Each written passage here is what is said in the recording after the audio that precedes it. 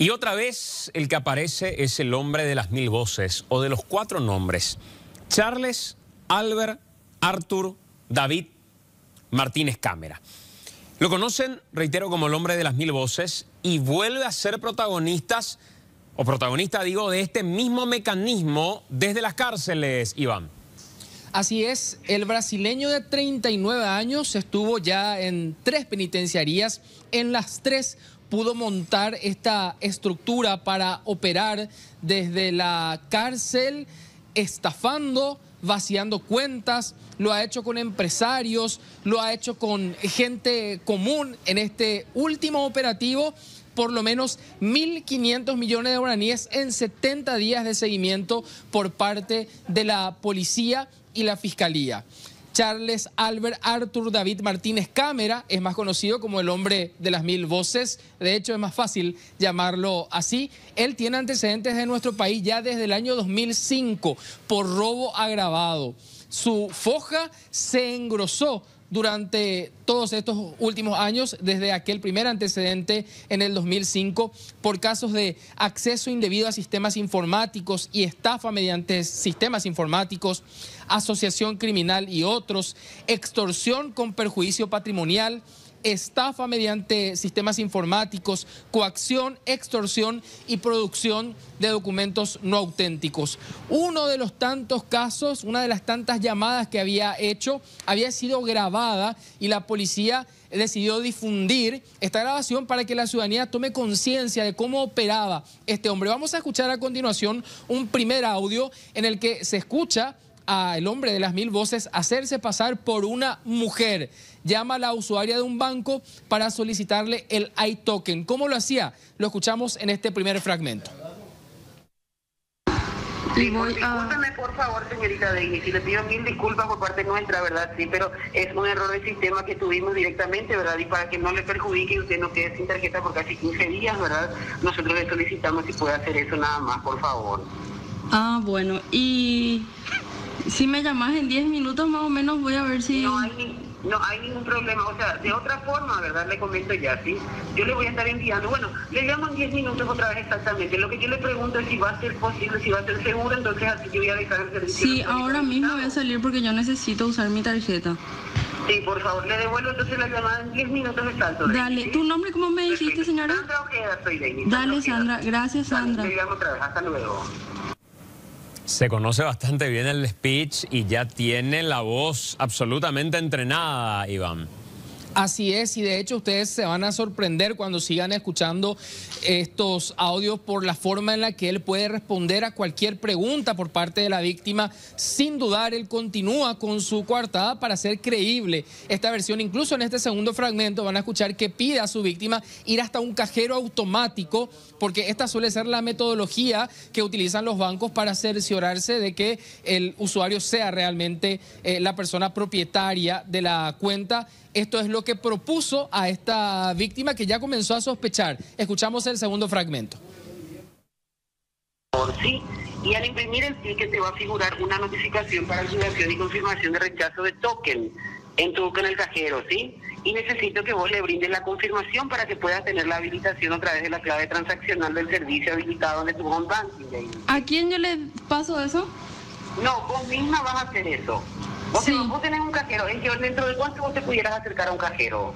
Y tengo un cajero súper cerca. Tenés un cajero cerca. Bueno, ¿en cuántos minutos más o menos llegas así? Yo te vuelvo a llamar y te explico exactamente en el cajero cómo vas a hacer. Y te, te voy a avisar si voy a poder hoy. O sea, si no hago ahora, ¿se va a bloquear mi cuenta? Exactamente, así mismo la tarjeta Ah. va a quedar bloqueada. Por eso justamente le pido. Ah, en serio. Es solamente hacer la impresión de unos tickets nada más, de un extracto nada más, para hacer la impresión, para hacer el movimiento de la cuenta en el cajero y usted ahí va a tener la confirmación para darle el cajero. Entiendo.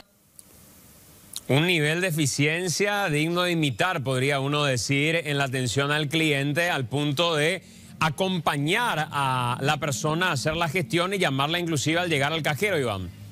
Y a muchos televidentes probablemente hasta la voz se le hace familiar y es que probablemente en alguna ocasión el hombre de las mil voces les llamó haciéndose pasar por eh, una, una trabajadora de atención al cliente de un banco, de un trabajador de una compañía de telefonía, así operaba. En este último fragmento ustedes van a escuchar cómo a prueba de todo tipo de consulta el hombre de las mil voces logra responder a la víctima hasta que finalmente eh, la víctima ya demuestra haberse dado cuenta de que todo se trataba de un intento de estafa y allí finalmente este hombre pierde las casillas. Escuchemos este último fragmento.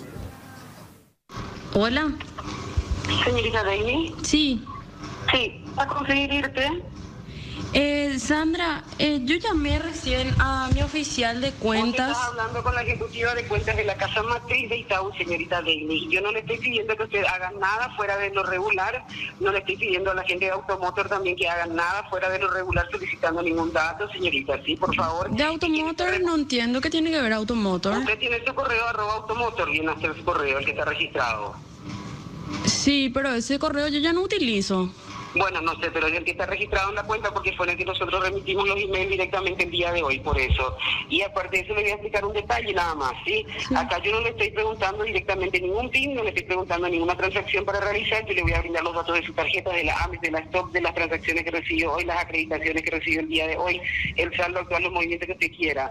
Yo estoy responsable de la agencia 55, que es donde está registrado la cuenta de usted, que es de donde corresponde la atención nuestra, señorita. Pero mi oficial de cuenta de casa matriz y me dicen que yo no mi cuenta está desactivada, o sea, en ningún momento no tengo ningún token. No entiendo por Claro, es lo que te estoy diciendo, por eso justamente se te está solicitando, porque hubo un error en el sistema informático para que usted habilite su cuenta nuevamente, el acceso y habilitación de transacciones para habilitar bloqueo, porque nosotros somos de la, no puede ser judicial de cuentas, no es de la casa matriz. ¿Es de la casa matriz? Agencia 55 corresponde. No sabría el nombre de la agencia, el número de agencia no sé, pero es de casa matriz.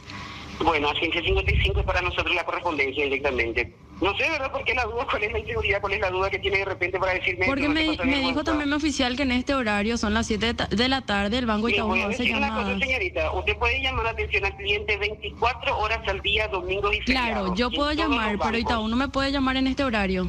Y nosotros le podemos llamar directamente de atención al cliente por plataforma fax en circunstancias exclusivas. Claro, pero este no es el número de Itaú.